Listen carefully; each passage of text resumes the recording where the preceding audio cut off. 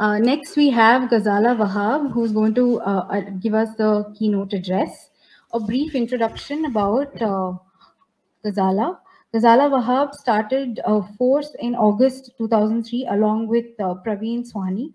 Apart from writing on issues like homeland security, terrorism, Jammu and Kashmir, left-wing extremism, and religious extre uh, extremism, she is the author of the best-selling book that we just mentioned, Born a Muslim. I'd like to welcome Ghazala Wahab.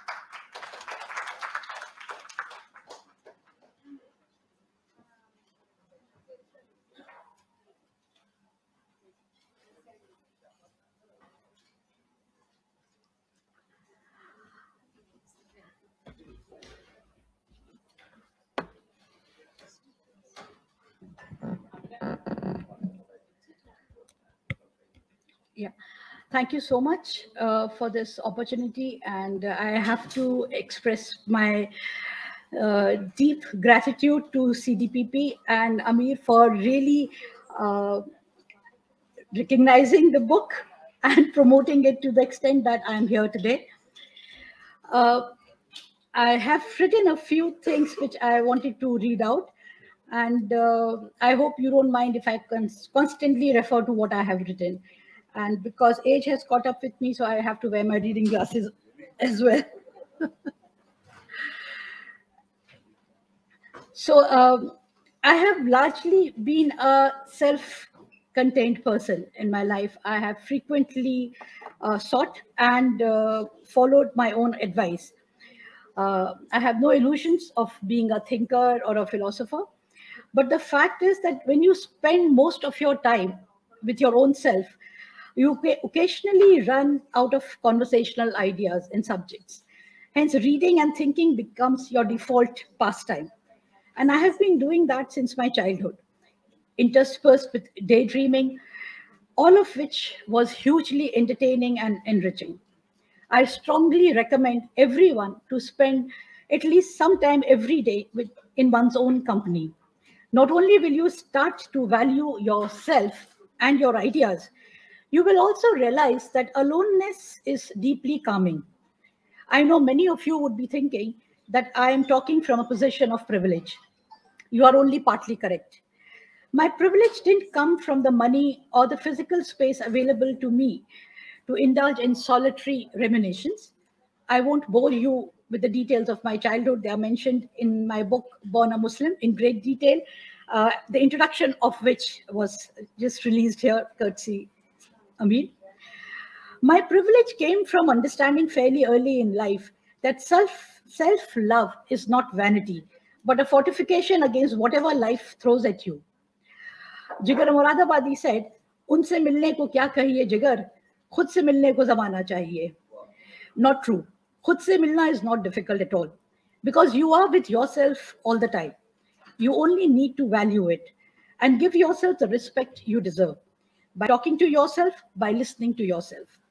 If you are mindful, you will have all the time to do that. While cooking, cleaning, bathing, commuting to work, to college, to school, wherever. I always had a great time walking to my college from the bus stop. I didn't wait for my classmates to arrive at the bus stop as some did so that they could walk while chatting. I would, in any case, be chatting with them during the day, in between and after the classes. So why not spend some quality time with myself, complaining, cribbing, planning, imagining, fantasizing. The possibilities were endless. By now, you would have realized that I have no expertise nor competence to deliver a keynote address. The best that I can do is share my experiences or what I have encapsulated as five life lessons. The first lesson that I learned fairly early was financial independence. This is a no brainer yet it needs as many reiterations as possible. When I turned 16, my father gave me an add-on credit card. I was super excited. A credit card represented financial freedom. But it took me only a few months to realize that far from freedom, the credit card was a mechanism for bondage. In the garb of freedom, it was making me even more dependent upon my father. My father's financial indulgence not only put limits to my actions, but thoughts too. By knowing what I was buying, he knew what I was thinking or not thinking. I always wanted to be a journalist, but the credit card gave me the clarity that I wanted to earn money, my own money, that journalism was not going to be my passion or a hobby, but a career, that I had to earn money from journalism. The day I got my first salary, I stopped using my father's money. That I was right in assessing the danger of my father's credit card was proved within a few months of my working. In one of his outbursts, he was uh, vociferously against me working. So, in one of his outbursts, my father told me that I could work if I was so determined, but I must refuse to accept the salary, that he will give me whatever money I desired every month. He must be my provider, else he would be mocked in the society. I understood where my father was coming from. My closest friend, an interior designer and not a Muslim, was facing the same dilemma. Her father, who was extremely proud of her talent, got her the first client, an old business associate of his. Once the designing project was complete, she raised the bill. The father's friend had a fit. He promptly told her father how shocked he was that his daughter had raised a bill. My father's friend was livid. He had not realized that his daughter was seeking a career, not a hobby. No matter how indulgent your parents are, how generous your brothers are, or how rich your husband is, unless you earn your money, you will have no control over your life. The same argument goes if your family is conservative and restricts your movement. Financial independence is one battle we all must fight all the time and fight to win. It does not matter if eventually you spend all your earnings on your family out of financial compulsions, coercion, or love. Your ability to earn will make you confident and will go a long way in ensuring that you don't make petty compromises with your life and liberty. The second lesson that I learned, another no brainer, was education and learning, and to learn to distinguish between the two. Education is what we learn in a formal setup in schools and universities and colleges. Learning is what you do by yourself through reading and reflecting upon what you read and contextualizing what you have read to your environment, to your experiences. We all know, and we are in a university right now, that our formal education system caters to the lowest common denominator. To increase, to make it broad based, we have actually dumbified our educational system, our material, our syllabi, which we teach. We are not teaching or we are not gearing to make people thinkers or people who could be independent in their approach. We are educating them on an assembly line so they can fit the pattern the society has created. So it is important to broaden your perspective, to enhance your skills, to ensure that your education is not in vain, is not a waiting room for marriage. I personally know several Muslim women who continued to study as they waited to get married. Since it was difficult to find Muslim men who could match the educational qualifications of these women, their education was undermined, devalued as, of, as something of no consequence. I am not undermining women who choose not to have a career. My emphasis is on choice. Not only must you be aware of the options before you, and the choices you make. You must also have the courage to stand by the choice you make. That is where education is different from learning. Academics is important, but equally important is opening up of one's mind and broadening of one's perspective. Hence, learn about the world, about your place in the world, and what could be your contribution to the world. Learning will take you to the next lesson on my list. Asking questions a lot of times we remain in doubt or do things without being convinced because we have been tutored to follow instructions without questioning them, especially religious instructions. When I was growing up, my mother frequently employed religion to discipline us. Random misdemeanors were referred to as sin to ensure that we did not do them. However, with time, I started to question the validity of the instructions. My mother stonewalled my questions by telling me, ye likhi hui baat hai. It's written in the book. Which book? Nobody knew. I continued to question and gradually got in the habit of seeking the answers to my questions on my own. In my family, I am known as a person who asks too many questions, and not many members of my family like that.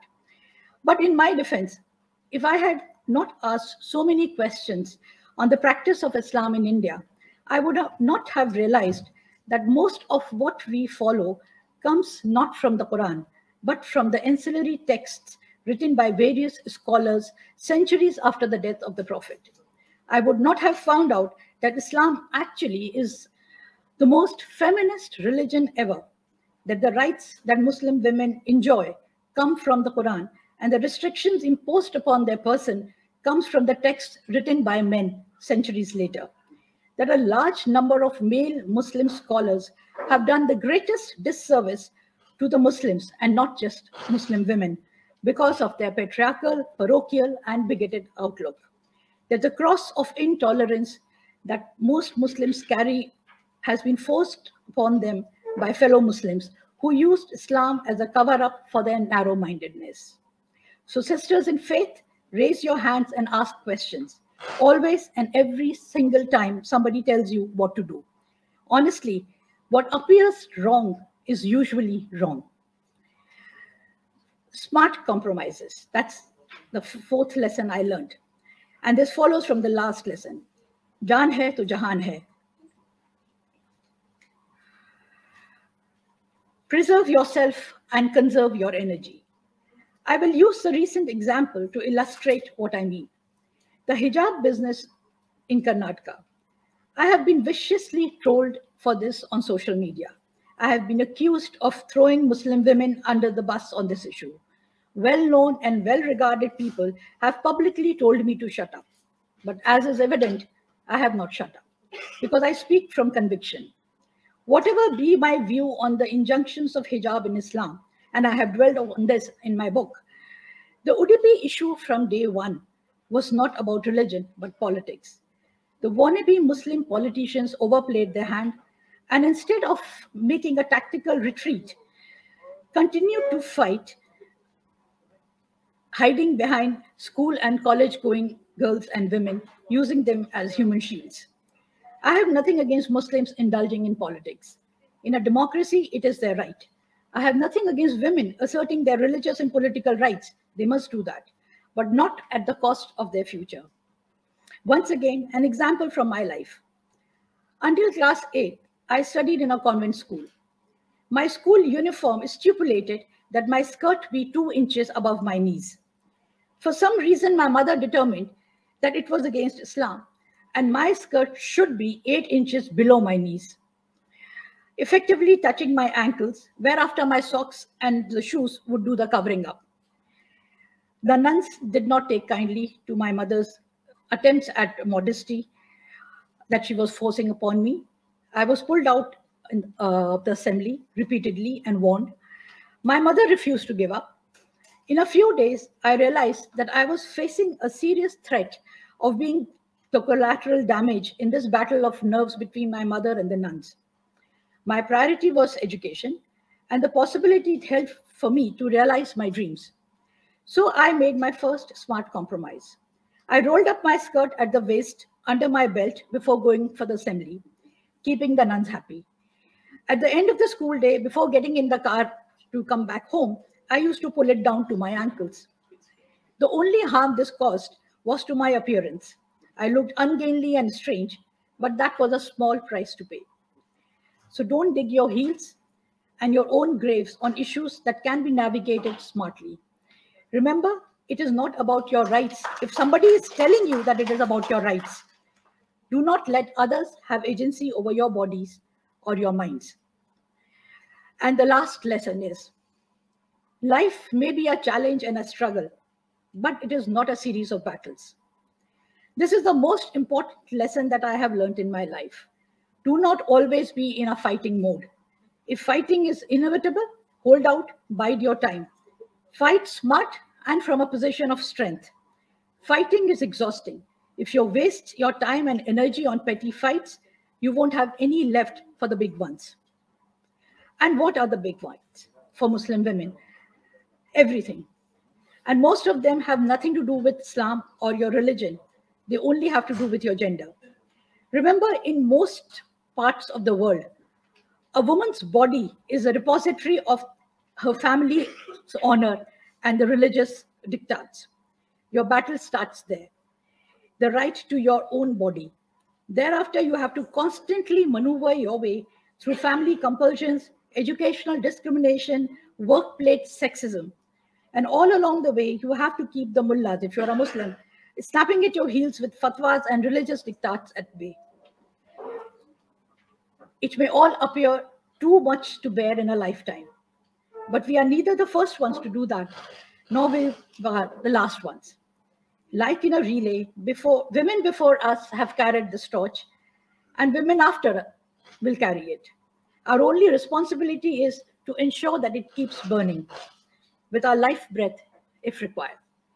Thank you so much.